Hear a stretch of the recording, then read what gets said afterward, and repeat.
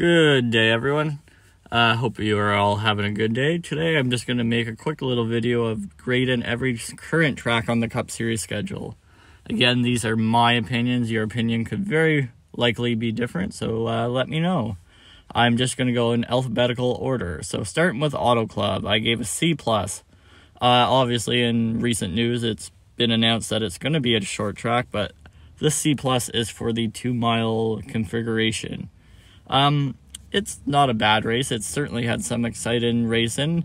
It's kind of dampered by the current package for the uh, bigger and mile and a half tracks, but you can't really blame that on the track.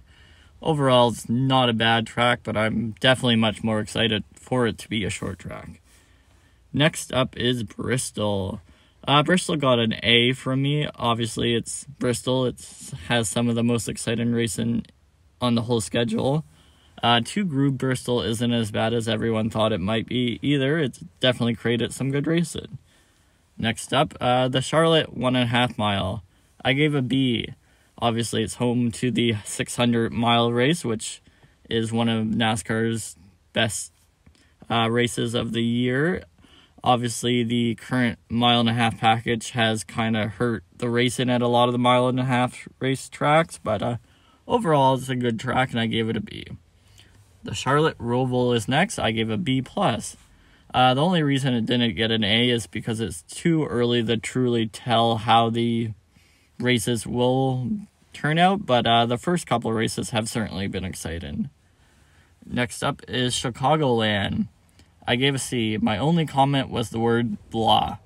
Uh, obviously, some of it, again, is to do with the current package, but overall, it's not a great racetrack.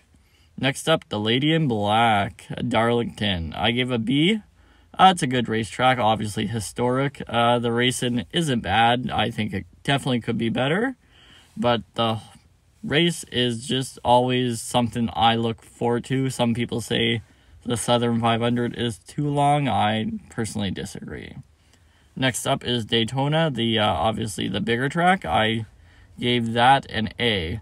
Obviously, it's home to the Daytona 500, which is the biggest race of the year and has produced very a lot of amazing finishes, that's for sure. Next up is the Daytona Road Course, which obviously they tried for the first time this year, and next year will be the Clash.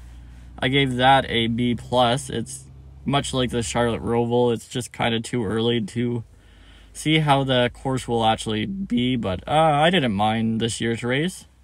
Uh, next up is Dover. I give a B minus.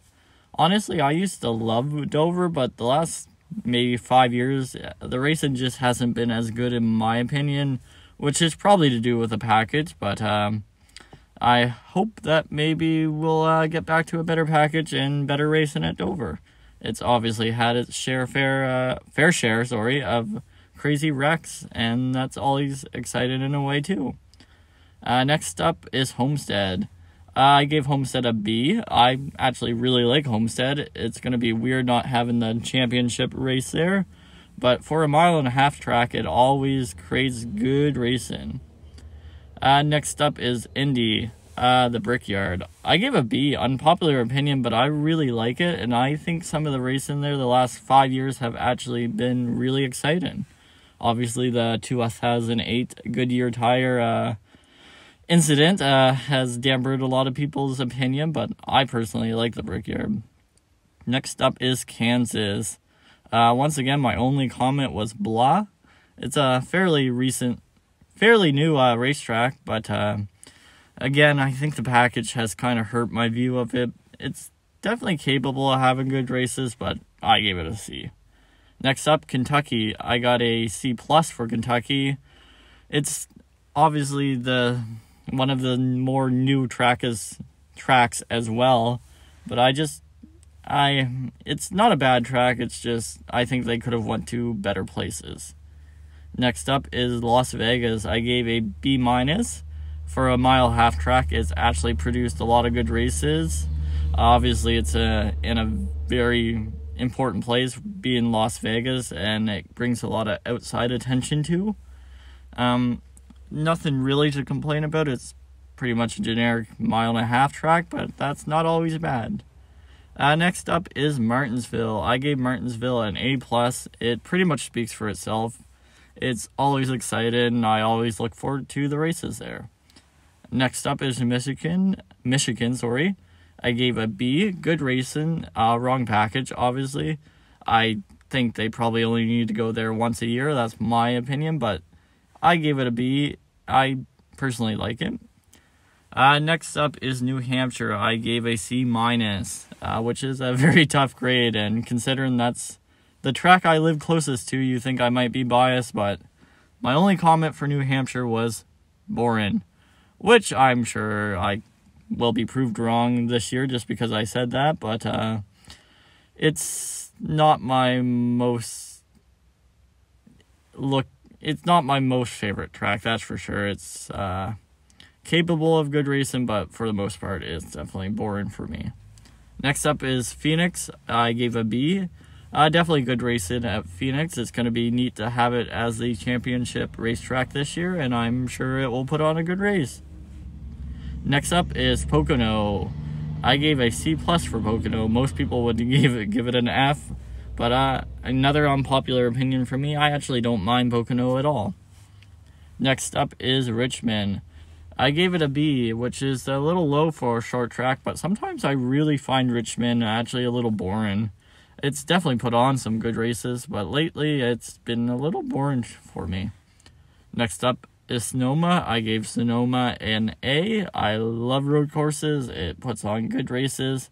Obviously, it's in California, so it brings out some um, people who usually won't get to go to a NASCAR race, and I just find Sonoma a really good track. Next up is Talladega. I gave a B plus. Obviously known for its great finishes and good racing. Uh, the only reason it didn't get an A like Daytona is because obviously Daytona has the fi- 500, the Daytona 500. Next up is Texas. I gave a C minus. Once again, my only comment was blah. It's capable of good races, but the package has really hurt mile and a halfs, and I just don't particularly like it that much. Uh, and lastly, it's Walk, Walkin, Watkins Glen, sorry, which I gave it an A plus. It's personally my favorite track. Uh, just great racing, great, great everything. I love Watkins Glen. I uh, definitely hope to go there one day. So that's my uh, quick rundown of every track on the Cup Series schedule. Uh, let me know what you think in the comments section. Thank you for watch watching and have a great day.